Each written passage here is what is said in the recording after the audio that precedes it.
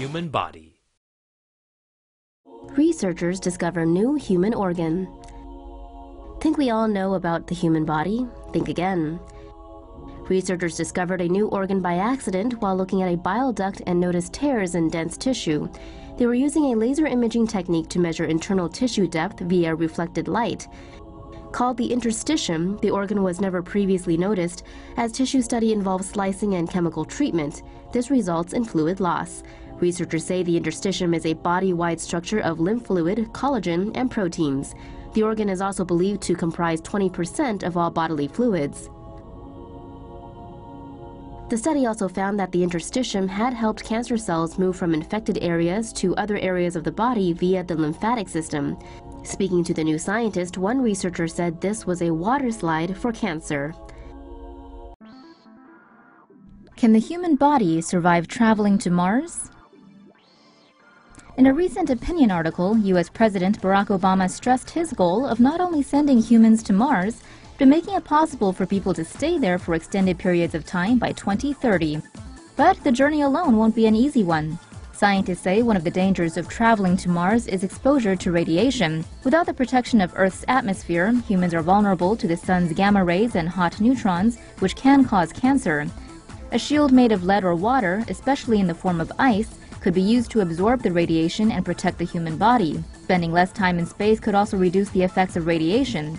During space travel, humans are also prone to osteoporosis. Astronauts in space have been recorded losing 1 to 2% of bone mass per month, that could mean 10 to 25% of skeletal mass being lost during a year-long round trip to Mars. While exercise aboard spacecrafts may help humans retain muscle and bone mass, astronauts have still been recorded losing a significant amount during travel. Other effects of space travel on the human body include changes in the circulatory system and the immune system. Meanwhile, even after humans do make it to Mars, they will still need to battle significantly lower temperatures and a thin and low-pressure atmosphere.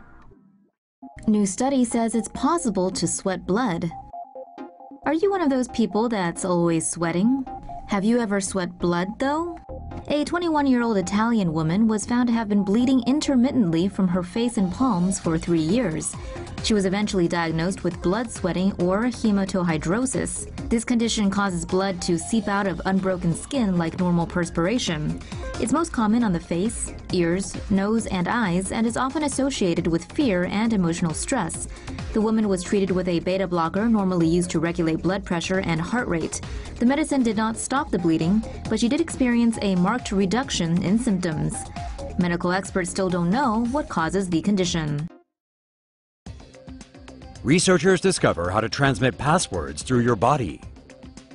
University of Washington scientists have developed a way to send password credentials using the human body in place of wireless air transmission. Researchers are developing fingerprint technology to transmit data through the human body. They say this could be used to perform security checks such as authentication for door locks, the technique uses trackpads and smartphone fingerprint sensors to send low-frequency electromagnetic transmissions through the body instead of through the air. The researchers know that these on-body transmissions could also be used to send password information to wearable technology. Talk about hacking the human body, eh? Facebook wants to get inside your head. If Facebook is the future, then you can bet it's going to be filled with some pretty nifty brain control technology. Plans for the new tech were unveiled during the group's annual F8 conference in San Jose, California. Facebook's research group Building 8 is developing a silent speech interface, so users will be able to type with their brains via non-invasive sensors. The technology will tap into the brain's speech center, decoding brain waves and feeding them directly to a computer. The goal is to create a system capable of typing 100 words per minute. Facebook is also working on a project to allow people to hear through their skin. An electronic device will administer frequencies in different patterns on the forearm. Users feel it and decipher the word based on the pattern.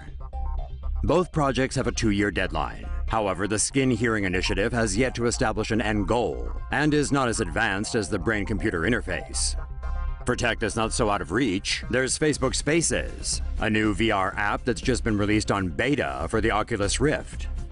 The platform allows for hangouts in virtual reality space, Users can pull in outside content from across the internet, making for a fascinating yet also slightly bizarre experience. How to edit genetics without changing DNA. Scientific brilliance coming out of the MIT Harvard Broad Institute may one day better the lives of millions.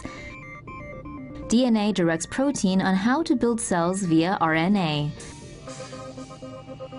A new study, published in the journal Science, details how DNA instructions can be chemically altered via edits to information in the RNA. The DNA remains unchanged, while proteins build cells based on the edited instructions. The method is not ready for human trials, but could one day help those suffering from degenerative diseases. People as old as 79 can still make new brain cells. Guess you can teach an old man or a woman some new tricks. A new study claims the brain continues to produce hundreds of new neurons daily, even in older people, in a process called neurogenesis. Scientists from the University of Columbia examined the brains of 28 dead people who were 14 to 79 at the age of death to see if aging affects neuron production.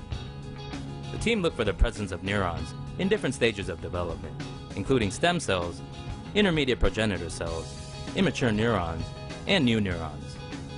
Researchers found similar numbers of neuroprogenitor cells and immature neurons, regardless of age. This led them to conclude the human brain can produce neurons even in old age. But just last month, another study published by the University of California found that new neuron production in adults was undetectable. So, guess the jury's still out. Researchers have discovered that when certain electrical currents are applied to the brain, its mathematical abilities are increased. Scientists presented math equations to a control group that received no stimulation and an experimental group that received randomly fluctuating electrical currents to their heads. The currents caused less blood flow to the brain, but no change in oxygen consumption, meaning the stimulated brains were actually working more efficiently. The stimulated group ended up doing faster math calculations than the control group. So far, researchers have found no adverse effects from applying such electrical stimulation to the brain. US scientists believe that one of the main reasons we sleep is to remove waste our brain generates during daily activities. Brain waste, including beta amyloids and taus, generates an interstitial fluid during daily cogitation. While some of the waste dissolves in interstitial fluid, the majority must be transported out via cerebral spinal fluid. The astrocyte, a type of glial cell, has tiny pores that suck cerebrospinal fluid from blood vessels into the interstitial space. During sleep, cerebrospinal fluid enters the brain rapidly to mix with interstitial fluid, washing brain waste from arteries and veins. The waste ends up in the liver. The process of brain cleansing is more active during sleep when the glial cells shrink and the size of the interstitial space increases.